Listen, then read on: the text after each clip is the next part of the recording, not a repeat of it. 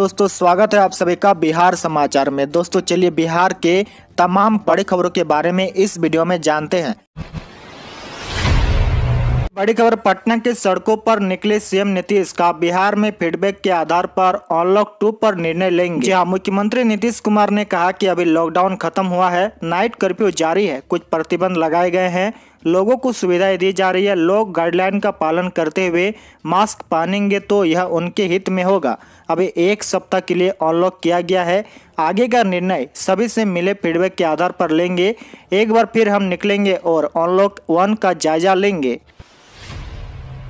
अगली बड़ी खबर, बिहार की बेटियों के लिए अच्छी खबर। इंजीनियरिंग में इसी साल से मिलेगा 33 फ़ीसदी आरक्षण का लाभ। जी हाँ नीतीश सरकार ने बेटियों को इंजीनियरिंग और मेडिकल में 33 फ़ीसदी आरक्षण देकर एक बड़ा फैसला किया था, लेकिन अब बिहार की बेटियों के लिए एक और अच्छी खबर है। राज्य के इंजीनियरिंग कॉलेजों में छात्राओं को तैतीस फ़ीसदी आरक्षण का लाभ इसी साल, यानी 2021-22 से मिल पाएगा। सरकार ने इसके लिए तैयारी शुरू कर दी है। माना जा रहा है कि जल्द ही कैबिनेट में इस आदेश को ज़मीन पर उतारने के लिए प्रस्ताव भी लाया जाएगा।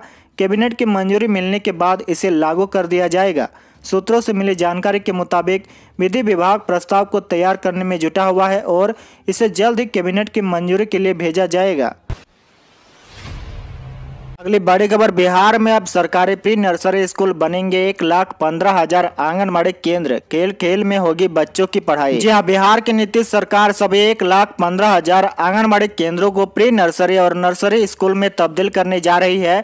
सरकार ने इसकी प्रक्रिया शुरू कर दी है। यूँ कहें कि चालू शैक्षणिक सत्र से प्रदेश भर के आंगनबाड़ी केंद्रों का संचालन अब प्री नर्सरी और नर्सरी स्कूल के रूप में होगा और यहाँ छियालीस लाख बच्चे विद्यार्थी होंगे। नए राष्ट्रीय शिक्षा नीति पर अमल करते हुए नीतीश सरकार आंगनबाड़ी केंद्रों को जल्द ही प्री नर्सरी और नर्सरी स्कूल की मान्यता देने जा रही है। शिक्षा मंत्रालय व महिला बाल विकास मंत्रालय ने इसे लेकर सहमति दे दी है। साथ ही आंगनबाड़ी केंद्रों पर कार्यरत सेविकाओं को प्री नर्सरी में दाखिल बच्चों को पढ़ाने, सिखाने संबंधी प्रशिक्षण भी दिया जाएगा। प्रशिक्षण में इन्हें बच्चों को खेल खेल में पढ़ाने का तरीका बताया जाएगा। इन्हें सिखाया जाएगा कि कैसे गीत, कविताएँ और कहानियाँ शिक्षा का आधार बन सकती है। साथ ही आंगनबाड़ी सेविकाओं को यह भी बताया जाएगा कि उनके कार्य का मूल्यांकन कैसे किया जाएगा ताकि वे ये सुनिश्चित कर सके कि उनका पढ़ाया हुआ बच्चों की समझ में आया भी या नहीं। बड़ी खबर अगले सप्ताह से शुरू होगा इंटर दाखिला का ऑनलाइन आवेदन। जी हाँ इंटर में दाखिला लेने के लिए छात्र छात्राओं को अगले सप्ताह से ऑनलाइन आवेदन का मौका मिलेगा। बिहार बोर्ड ने 13 जून तक स्कूल कॉलेजों को आवंटित सीटों पर आपत्ति दर्ज कराने को कहा है। इसके बाद ऑनलाइन आवेदन शुरू होगा। एक छात्र को कम से कम 10 कॉलेज या स्कूल में आवेदन करने का विकल्प मिलेगा। बिहार बोर्ड द्वारा कला विज्ञान और वाणिज्य तीनों संकाय में जिलावार सीटें आवंटित कर दी गई है। इससे छात्र अपने ही जिला में आवेदन कर पाएँगे। बोर्ड की माने तो ऑनलाइन आवेदन के बाद तीन नामांकन सूची जारी की जाएगी। ऑनलाइन आवेदन करने का मौका एक ही बार मिलेगा। इसके बाद चयन सूची जारी की जाएगी। प्रथम चयनित सूची में शामिल छात्रों को पहले आवेदन करने का ही मौका मिलेगा। छात्रों को स्पॉट नामांकन लेने का मौका कॉलेज में मिलेगा।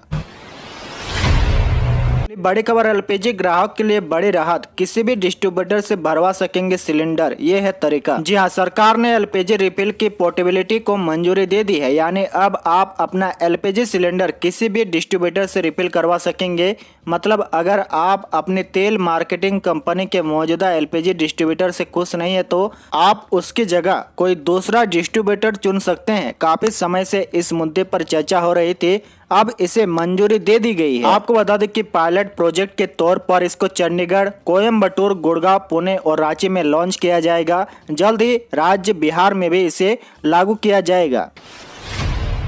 बड़ी खबर मांझी, तेज प्रताप की मुलाकात पर सियासी हलचल तेज। अचानक पूर्व सीएम जीतनराम मांझी के आवास पर पहुँचे लालू यादव के बड़े बेटे तेज प्रताप। बंद कमरे में 40 मिनट हुई बात। जी हाँ बिहार के पूर्व सीएम जीतनराम मांझी से मिलने लालू यादव के बड़े बेटे और आरजेडी विधायक तेज प्रताप यादव पहुँच गए।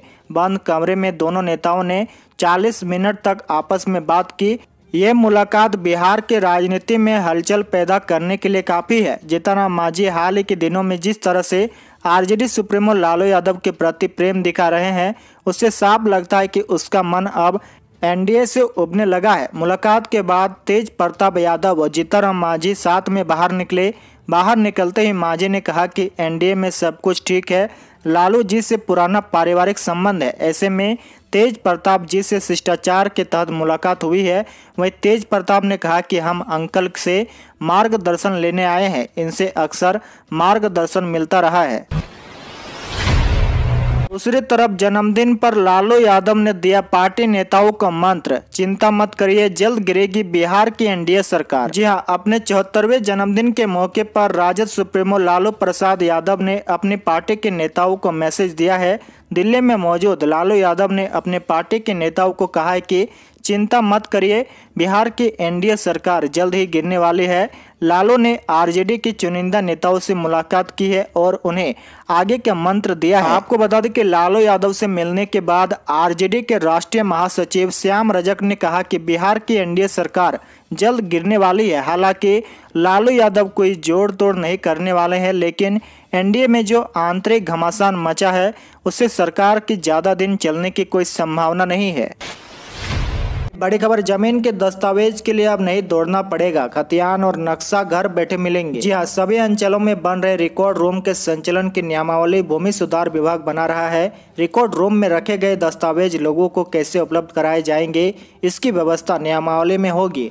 नियम बनने के बाद किसी भी दस्तावेज़ के लिए लोगों को कर्मचारियों के पीछे दौड़ना नहीं पड़ेगा। घर बैठे ही वह ऑनलाइन दस्तावेज़ निकाल सकेंगे। राजस्व एवं भूमि सुधार विभाग अगले महीने तक नियमावली तैयार कर लेगा। उसके बाद लोगों को दस्तावेज़ उपलब्ध कराने की प्रक्रिया शुरू हो जाएगी।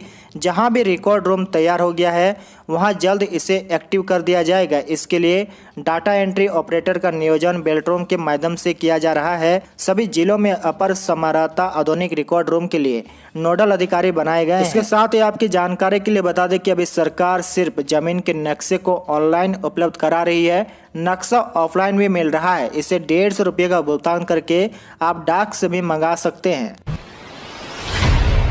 बड़ी खबर, बिहार में अब नहीं बचेंगे शराबी और धंधेबाज। टोल फ्री नंबर पर शिकायत करते ही 24 घंटे में होगी कार्रवाई। बिहार में शराब पीने और बेचने वालों का बचना अब मुश्किल होने जा रहा है। दरअसल इनके खिलाफ कोई भी शिकायत अब पुलिस अधिकारी दबाकर नहीं बैठ सकेंगे। शराब के मामलों में शिकायत करना भी अब आसान हो जाएगा। घर बैठे एक टोल फ्री नंबर पर शिकायत करते ही पुलिस विभाग सक्रिय हो जाएगा। ऐसा हर शिकायत पर चौबीस घंटे के अंदर कार्रवाई करना थानेदार की मजबूरी होगी। अगर समय पर कार्रवाई नहीं हो सकी तो थानेदार के साथ ही एसडीपीओ तक भी कार्रवाई शुरू हो जाएगी। बिहार में शराब से जुड़ी कोई भी शिकायत toll free number one double five four five पर की जा सकेगी।